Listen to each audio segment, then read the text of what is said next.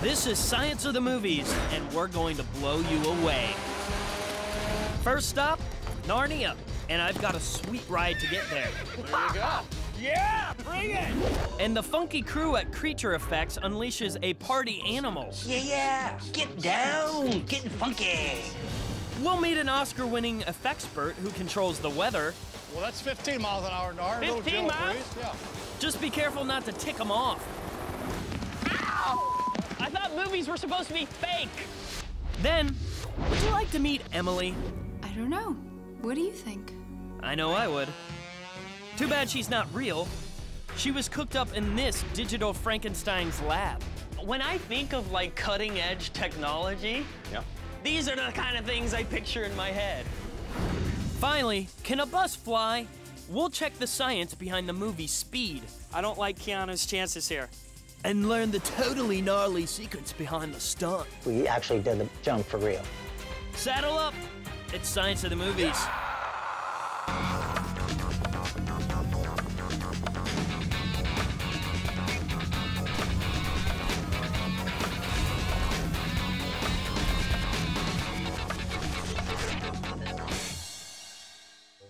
You know, people say that working with children and animals is such a big issue. I just don't see the problem with it. I guess it's because I'm a natural, you know, I'm such a nurturing guy.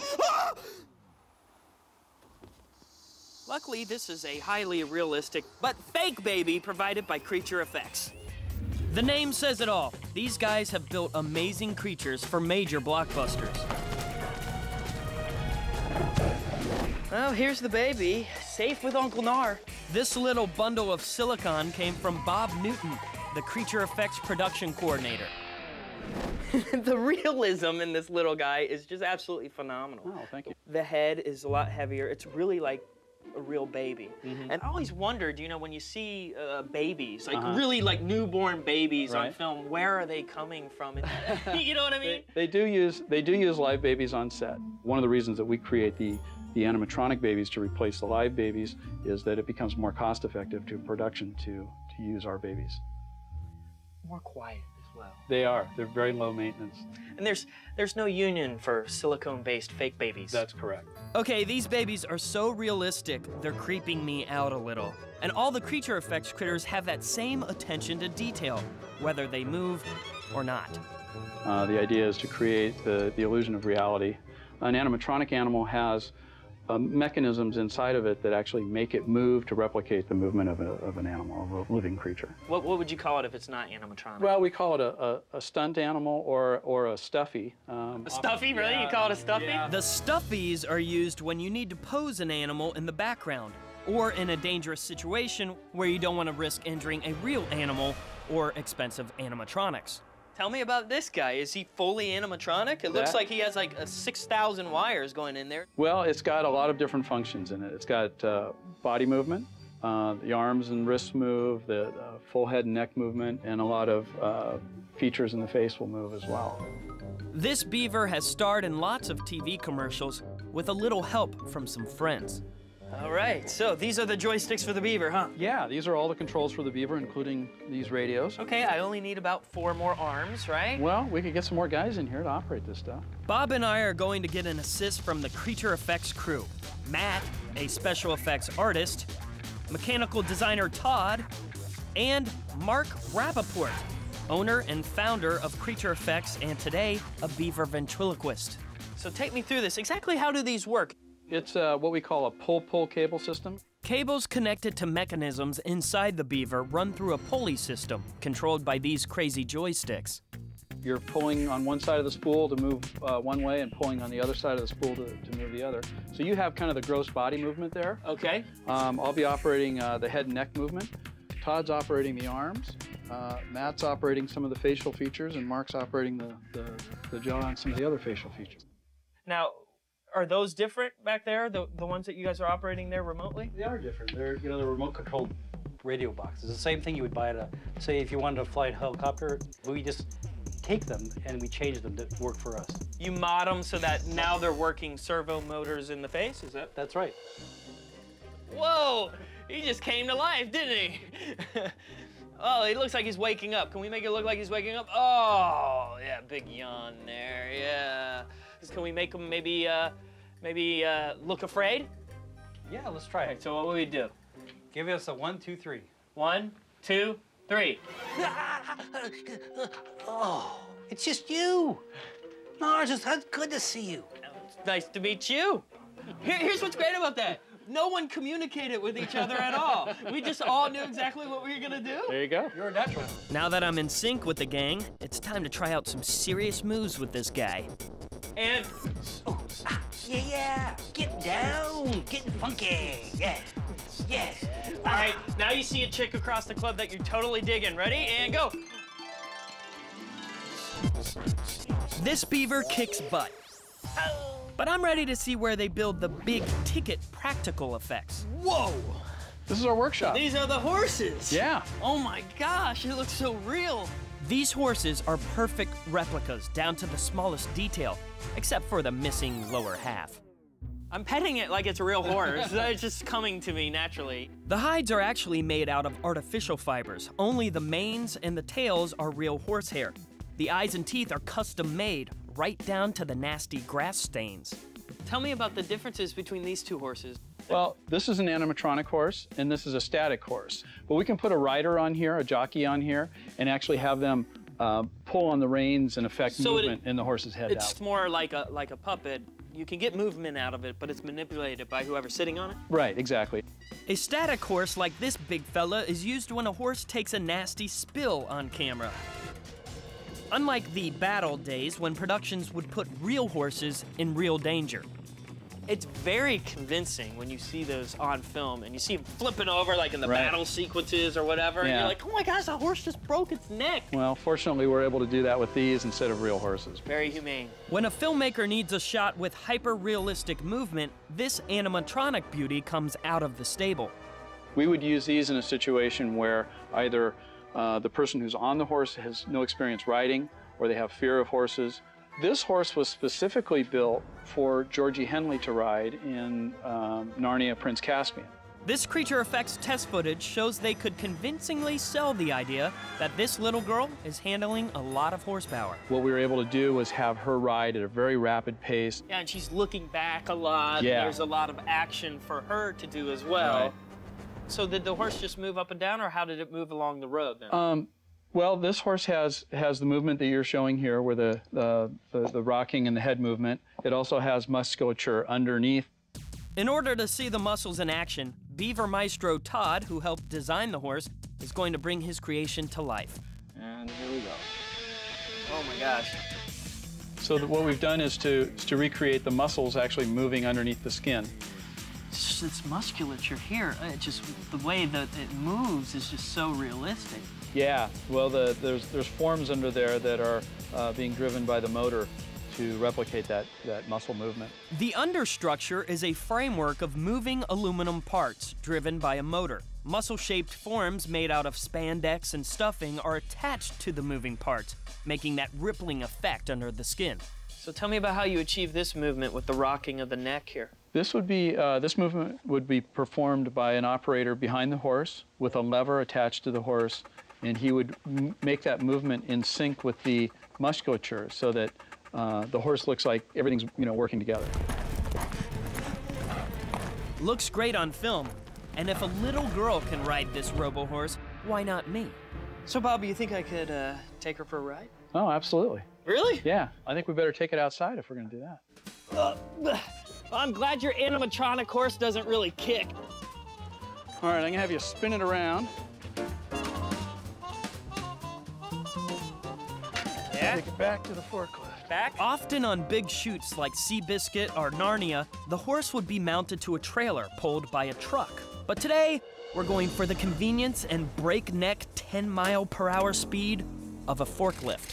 Think I can get some good speed on this? I hope so. We could sell the shot, We're gonna try and throw you off the horse at the end. Right. Watch yourself, but oh, All right. just Oh. pulled my groin up. All right. About Now the that? horse is gonna be rocking back and forth, so you're just gonna go with it. There you go. Yeah, bring it. All right, I'm gonna start the forklift. okay, but there's just one more thing that I need. Well, what's that? Time to put the Nar in Narnia. Follow me, fellow geeks. For today, we roll natural 20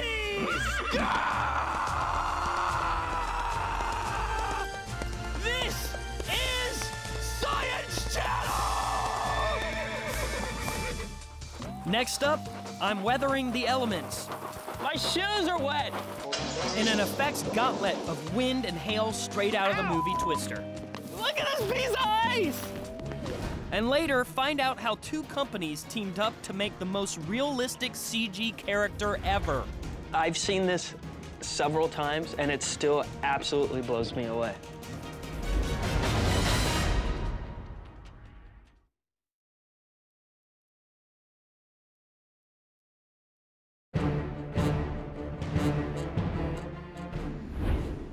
Fritz Coleman in the Weather Center with your 5 o'clock weather update.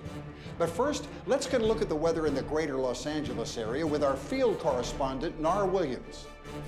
Thanks, Fritz. I'm here at beautiful downtown Burbank. We're experiencing a unique meteorological phenomenon known as a sun shower. Really coming down out here, man. Okay, fine.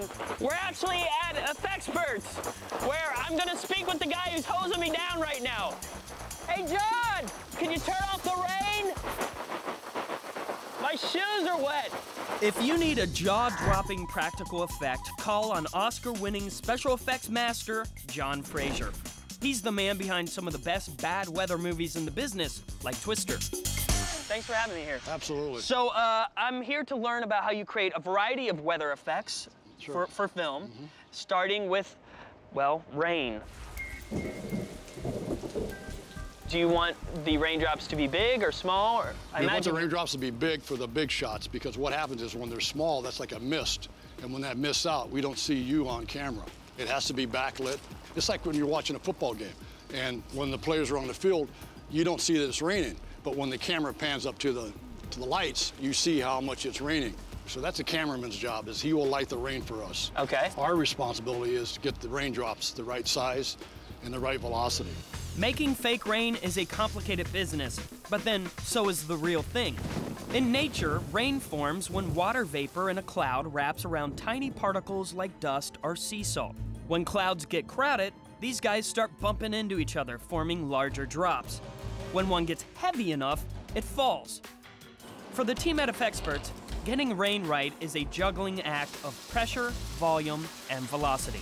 We go more for volume than we go for pressure. When you start adding pressure, that's when it misses out again. Okay. Let's say if you're at 80 pounds per, you know, per square inch, that's a good, that's a good pressure. Okay, so 80 psi is the ideal pressure. Uh, now, what kind of volume are you talking about? I see you have a big fireman's hose here. That actually, for us, that's a small hose. Oh, really? Yes, a normal rain job where we're using a 100-foot rain bar pumps out about 1,000 gallons a minute of, rain, of water. When we did Pirates of the Caribbean, uh, part three, we were pumping out at around, just around 75,000 gallons a minute, Where which we could recycle, by the way. Okay. We, we just had a continual reuse of that water. It takes a whole lot of foot wide hoses to tackle waterworks like that. To get all that water flowing naturally, Effectsperts raised the bar, literally. Up to 25 years ago, you can see in the background here, we have this what's called a rain stand. And it, it only goes up about 20 feet, which means that now you're limited to your, your arc of your rain coming out. Unlike your shower head, which pushes out water in an arc, real rain comes straight down, a key detail to making plausible precipitation. So we came up with this rain bar concept where we can raise the rain bar with a crane as high as we like, get the rain straight. The rain bar can be raised up to 100 feet high, so they never have to worry about the drops arching from the head. And it's got up to six spigots for Effectsperts' customized rain heads. That's one type of head that we use. It's called a spinner. If you get any kind of uh, little small debris in that head, it stops spinning. Now- Why, why is that? Just it well, because up? it just clogs up the bearings and will not allow it to spin. So that's not my favorite tool there. It may be finicky, but the spinner's great if you only need showers in a small area, like, say, on your TV host. But what is my favorite tool? Something we call a goose drowner. And it's a term that's been used. It's called a what? Goose drowner is an old time term for a serious rainstorm. And the heavy duty head was actually invented 50 years ago for industrial chemical baths. When you use the goose drowner head, uh-huh. it gives you full coverage. That's more important than it is actually the rain falling, is what you see on the street. What other weather will I be experiencing today, John? We're gonna do some hail like we did in Twister. Hail? What the hell is hail anyway? And how does it occur in nature? Cue legendary LA weathercaster Fritz Coleman. Hail, tiny frozen droplets of water that get thrown around inside a thunderstorm cloud with very severe updrafts. And it kind of ends up like an onion where there's a layer of water that freezes and another layer of water that freezes, and finally the hailstone gets so heavy that it falls out of the cloud. To make hail for 1996's Twister, John and company had to invent a machine that would mimic Mother Nature. We went to a plastics, plastics company in Los Angeles, and they tried to help us out, make little cubes of hail, and which they could do. But the biggest problem that we had with, with that is number one, it's very expensive, and number two, the cleanup. You have to collect it all. You got to collect it all. You got to get rid of it. Right. And so we thought, you know what? Why don't we just try to make real hail? The great thing about it is not only did it look good, was it just goes away. So it is just water. It's just ice. There's It's no chemical us. or no anything else. in it. chemical, nothing. What about CGI? Is, is CGI taking over this kind of thing, or is there still use for the real hail? As great as the CG uh, instrument is, it's just better when it's live, especially when it's hitting you on the head or, or it's raining and that water is running off your umbrella. John's practical effects force actors to get in character fast. Now he's going to recreate a scene from Twister, hopefully without the twister. You're not gonna sissy up and hide behind me, are you? Nothing? No, Okay. I'm tough. All right, we're gonna see how tough you are. Here it comes. Huh?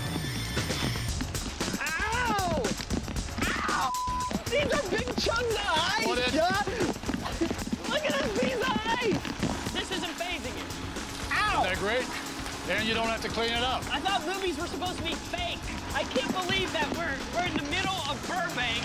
It's a sunny day, and I got big chunks of ice raining down on me. Now this is what we did for three months in the wheat fields of Oklahoma. Look at these. Look at this. That's huge. So how do they make this hellish hail so convincing? Say hi to Pete DeGrandis. Hey, Pete. How you doing? Pete supplied John with about 60 tons of ice to create the hail and twister. Whoa, that's a lot of ice. How much ice did you bring today? About five tons. You brought five tons yeah, of ice? Yeah. Wow. There's two parts to this. The first part is a chain that's got some pullers on it that'll get back behind the ice and pull it in to this crusher. You got a big drum here with big teeth, Whoa. and it will crush the ice down into big shards, big pieces. That, that's some wicked medieval looking spikes you got Yeah, in there, big. man. This industrial snowblower was invented as a way to fill boxcars and boats with ice to keep produce and fish cold, and it can make anything from golf ball sized hail to a dainty snowflake. As the ice enters this, this port through here, the impeller will literally pulverize the ice down to snow. So we'll, we'll regulate the size of the snow or hail, like you saw earlier, by the speed of the motor. So to get the hail, we would just run it at a low RPM, uh-huh. okay, and it doesn't break it down as much. And then to get snow, then we'll just scream the engine. That's when it pulverizes it down to fine snow. Speaking of getting pulverized, stick around. The forecast calls for a carbon dioxide fog storm. It, it's safe to breathe? Absolutely. And we'll find out if I can survive a Category 2 hurricane.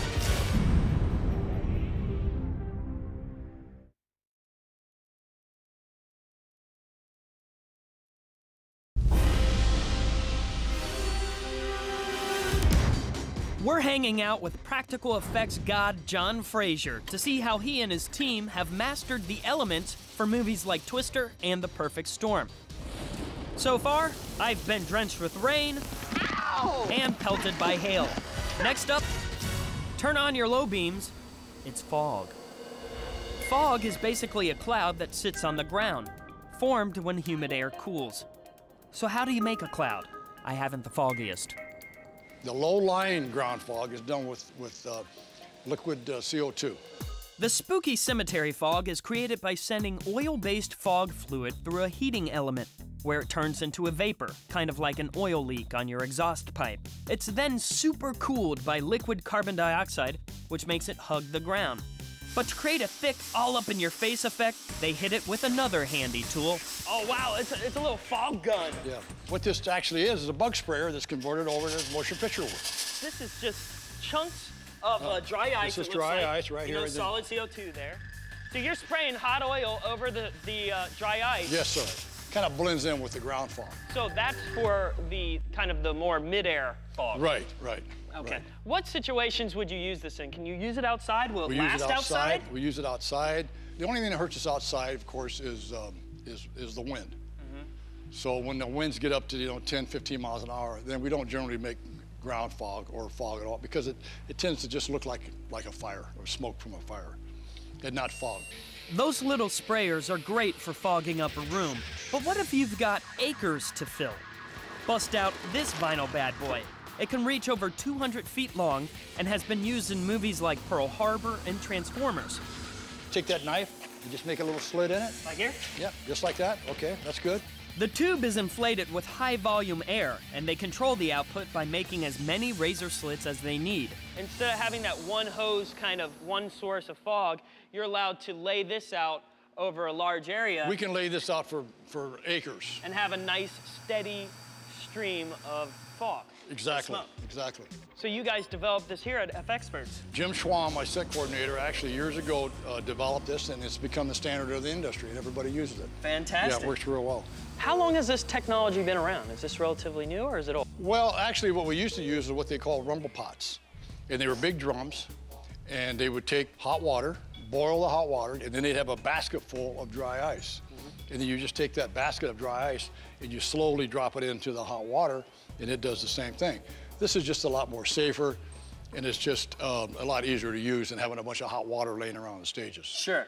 Um, speaking of safety, with this tube smoke, the ground fog, and that little gun they used, we've been hanging in this CO2 drenched room for at least half an hour. How come we're still standing? What we'll do a lot of times is like with that with the dry ice and stuff, they'll add oxygen to it because I know everybody's concerned about passing out because we're taking the oxygen out of the air. Yeah, I feel totally fine. It doesn't Well, what even... they do is they add oxygen to the tanks. Uh, what's happened in the To the last few CO2 years? tank? To the tanks, exactly. And that doesn't affect the quality of the Not smoke at all. Not at all. Not at all. All right, you want to go get some fresh air? Let's do that, Nar. By the way, when I said get some fresh air, kind of an understatement. Wow, these are not your average desktop fans, John. No, these will these will make some wind, baby. We know it blows, but what is wind anyway? Boys and girls, legendary LA weatherman Fritz Coleman. Wind is caused by air moving from areas of high atmospheric pressure to areas of low atmospheric pressure. For instance, when you pop an inflated balloon, the minute you stick the pin in, the air rushes out of the balloon. It's high pressure seeking lower pressure outside the balloon. So, John, what is this fan called?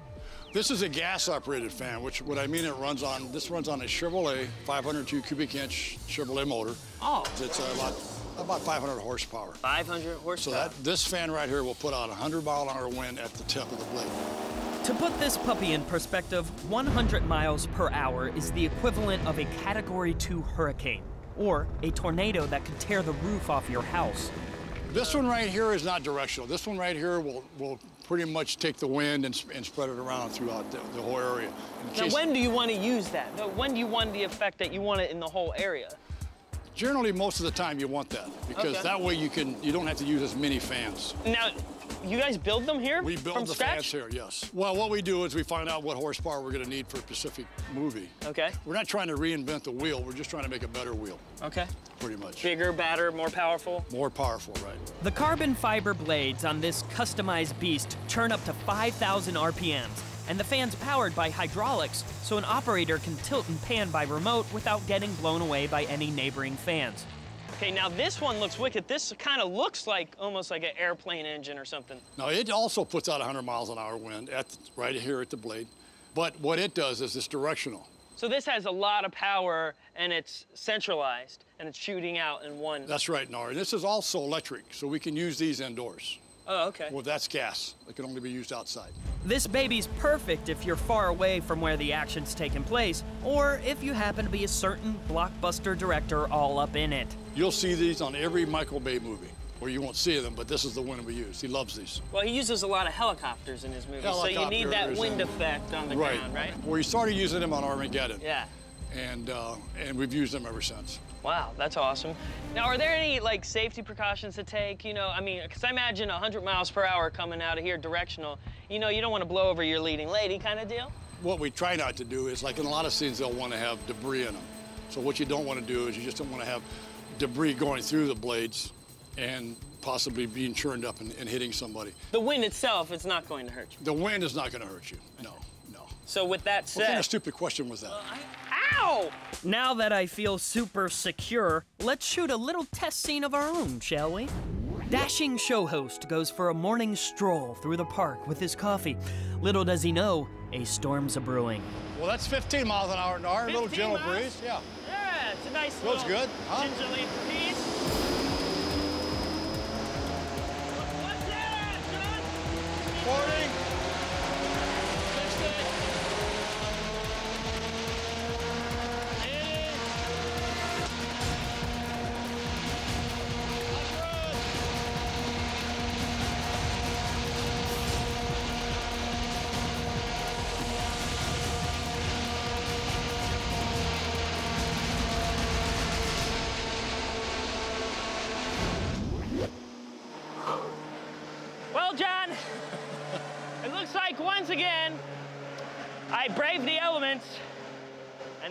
And the elements won.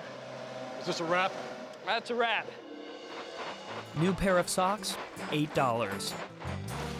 Umbrella, $15. This is messing up my hair, John. Hairstylist, Ow! $40. Spending an afternoon with someone who controls the weather, priceless. Coming up on Science of the Movies, One of the kind of the driving ideas of the Institute has been the, the holodeck on uh, Star Trek. we're beaming to the next generation of virtual reality. I've seen better. Get more Science of the Movies online. Check out sciencechannel.com slash science of the movies.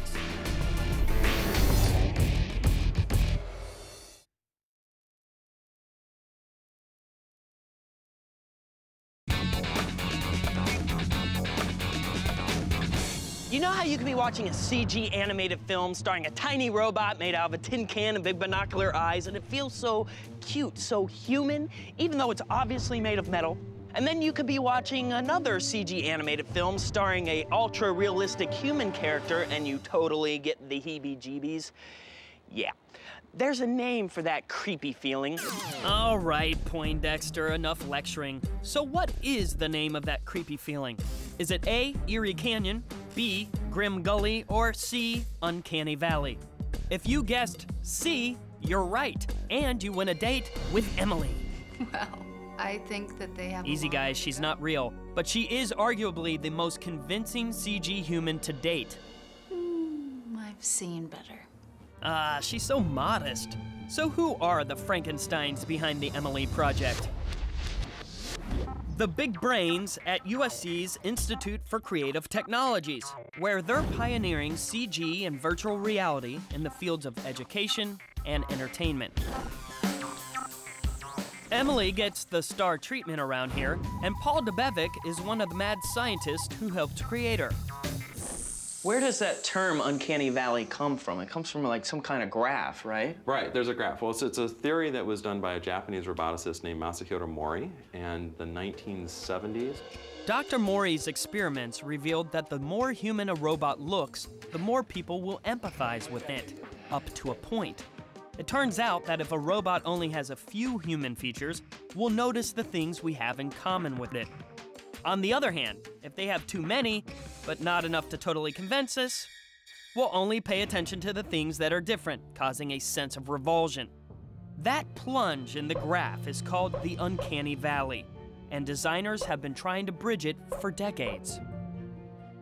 I've talked to some visual effects supervisors who they say like, I bought property in the uncanny valley. It's like I've been in there so long. Part of being in that uncanny valley, in that dip, means you're actually getting a lot of stuff right. Right. So some of the people who finally got us into the uncanny valley, even though that stuff creeped us out, it's what we had to do and what they had to achieve in order to get to the other side of it. What kind of applications are we talking about besides the entertainment aspect. One of the kind of the driving ideas of the Institute has been the, the holodeck on uh, Star Trek.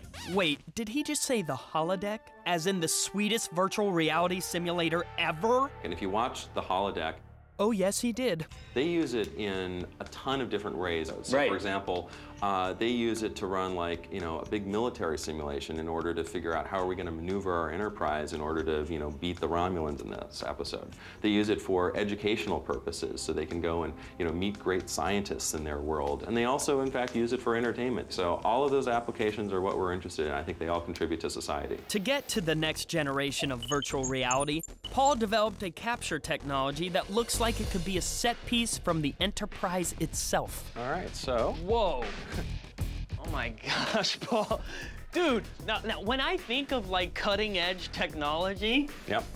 these are the kind of things I picture in my head. Wh- what is this? Well, this is something that today we call Light Stage 5. It's basically a big ball of light. It's uh, what we use to scan faces. This light stage has been used by most of the major studios to capture famous mugs like Tobey Maguire's Spider-Man and Alfred Molina's Doc Ock. Step one in bringing CG Emily to life and finally bridging the uncanny valley was when real-life actress Emily O'Brien set foot inside this psychedelic pod. It sports 156 colored lights and 156 super white LEDs. The colored ones are used for recreating different lighting conditions. The white lights are used for the facial scans that make Emily look so real. Unlike motion capture, which recreates a subject's movement, ICT's system captures the play of light on skin, using two cameras set up like a pair of eyes. Well, the process that we're set up for right now actually is designed to use almost just kind of prosumer level digital cameras. The reason we've got those is they can shoot about uh, eight or nine frames per second. And so the result is that we can shoot off about um, 15, 20 photographs of the face under different lighting conditions in about three seconds total. The quicker they shoot the images, the more natural facial expressions they can get from a subject. For Spider Man 2, they took nearly 2,000 photos of Alfred Molina in a mere couple of hours. Three seconds per scan sounds pretty quick, so they won't mind if I hop in for a little test drive. Sorry guys, you won't be getting a digital host. It's in my contract. No green M&Ms, no Diet Dew, and no droid clones. Whoa, dude, I love that guy's hair. In the past, animators have often been limited to working with one neutral facial scan, like this pic, but from a couple different angles. There've been a lot of digital characters that were essentially based on, you know, a neutral scan of the face, and then you try to puppeteer that and move it into those positions based on motion capture. One thing that makes this project different is that Emily posed with 33 different expressions that basically comprise every muscle movement her face can make, allowing digital Emily to exist independent of the real Emily. It starts with what we call the, the diffuse lighting.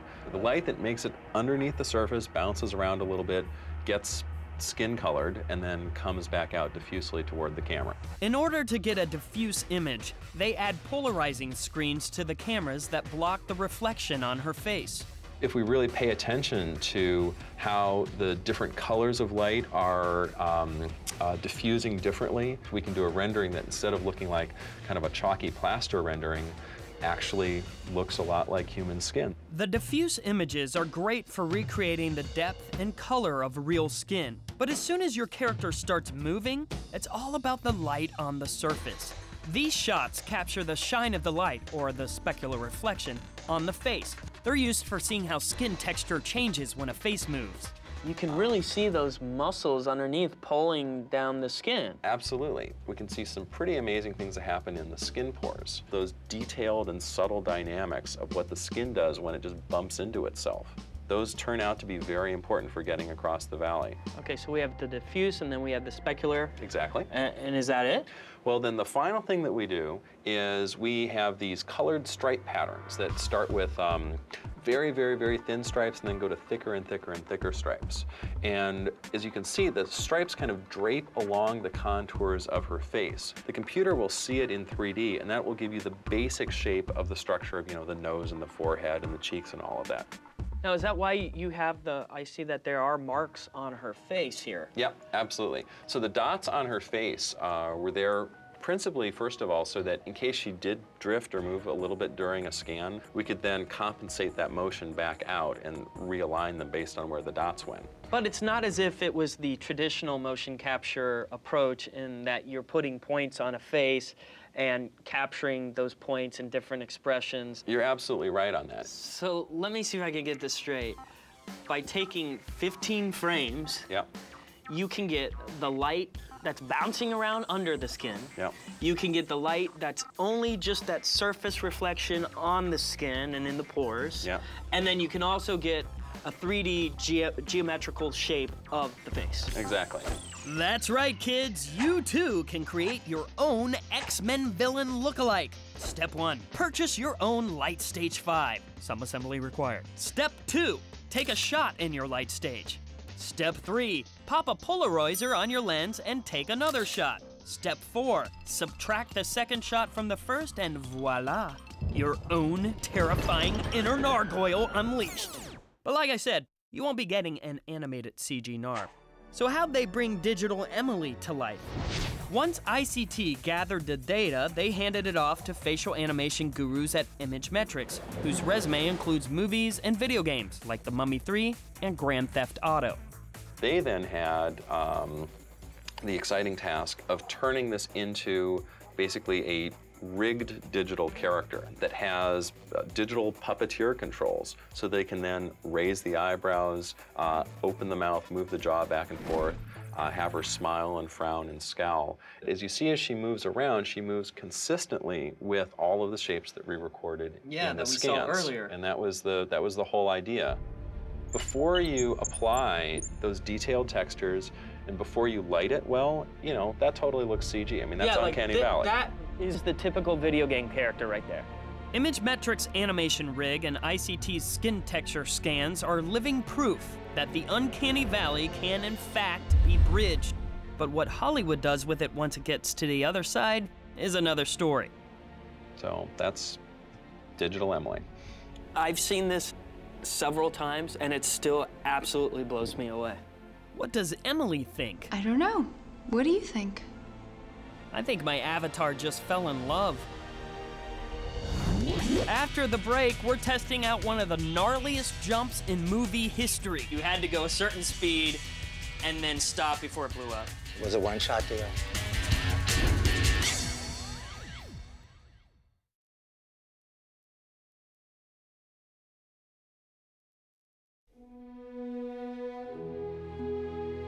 Some of our favorite movies contain some sketchy science. Even though you love them, sometimes you look at an action scene and you can't help but think, that's bogus. That's right, it's time to break down some more movie science. Dudes, today we're gonna have the most excellent time finding out if the righteous, gnarly bus jump in the movie Speed was totally bogus or not. In this 1994 action flick, Sandra Bullock is piloting a bus booby rigged to explode if it goes under 50 miles per hour. When the bus encounters a break in a freeway overpass, she takes the advice of co pilot Keanu Reeves, puts the pedal to the metal, and jumps the 50 foot gap. So, could a bus really do that? Or would the highway patrol be calling for a cleanup on aisle ouch? Okay, so this is the exact same type of bus that was used in Speed. It's 35 feet long and it weighs about 15 tons. Could it fly? I know just the man to ask. So I'm here with stunt coordinator from Speed, Gary Hymes. Hey, Gary. Sir, please stay behind the white line. Okay, but we're not moving. Safety first. He'd know. Gary's raced cars, tanks, trains, and boats for the likes of John Woo and Steven Spielberg. And today, he's gonna help us figure out if that most triumphant bus jump could actually, like, happen in real life. Let's rev her up and try it out. No, people, not with this actual bus, with toys. First step, measure everything to scale, from the mini car to the gap. Oh, we're right about there. Okay? That's pretty now, good. So that's the scale to the 50 foot gap that's actually in the movie. Correct. All right. Ready? Come on, Keanu. You got it in you, buddy. Ooh. Outlook not so good. But to be sure, let's get some hard science from a real engineer. The problem is, The moment that the roadway is no longer there to support the bus, gravity will start causing it to accelerate down. The horizontal speed of the bus is unaffected by gravity. There's a shot of the speedometer in the movie. The bus is going 67 miles per hour. At that speed, it'll travel the 50 feet in about half a second. I calculate that the distance the bus will fall is about four feet.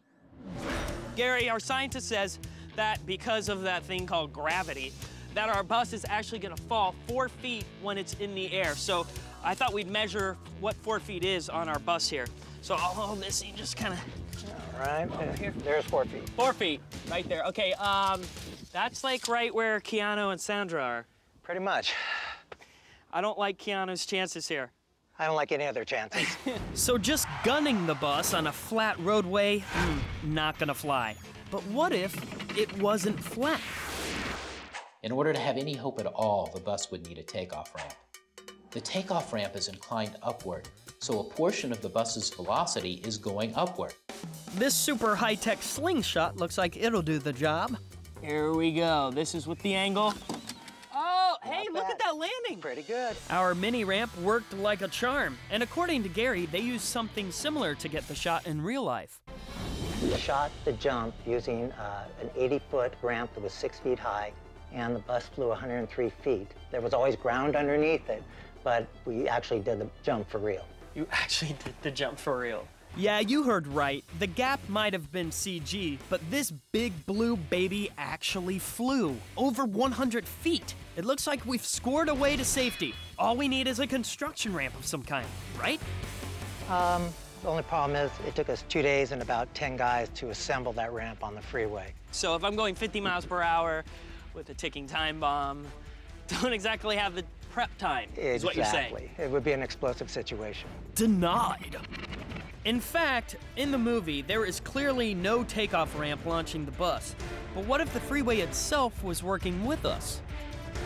Now, is it possible that the freeway uh, would have a grade like this, enough of a grade to make a jump like I think it's doubtful. I think you would need to have some type of ramp. I'm not a stunt driver, but I agree. If the takeoff ramp is at 5 degrees, I calculate that the bus would travel in an arc that would carry it to safety. A 5 degree ramp has a grade of 8.7%. The American Association of State Transportation and Highway Officials sets standards for the construction of freeways. One of these standards is that the grade of a freeway cannot be greater than 6%. A 6% grade is equivalent to a slope of 3.4 degrees. A 3.4 degree takeoff ramp is not enough to get the bus to the other side. Option three is definitely out. But are we out of options? What about speed? Not as in the movie title, as in miles per hour. According to our scientists, there is one way to make it work. Assuming a 3.4 degree slope, the bus would have to go at least 79 miles per hour. Bingo! The speedometer on our bus says it can go up to 80. We are home free, people. Or are we? One of our problems was, um, we found this out during filming, that the bus wouldn't go much over 55. And the ideal speed for the jump was 65, given that the distance we wanted to cover. After talking with the bus mechanic uh, for you know some time and trying to find out what the maximum we could do of the bus, he came up with a plan that we could probably get maybe 64 miles an hour out of it. But there was a catch. The bus would probably only last. It would blow up after about two and a half miles.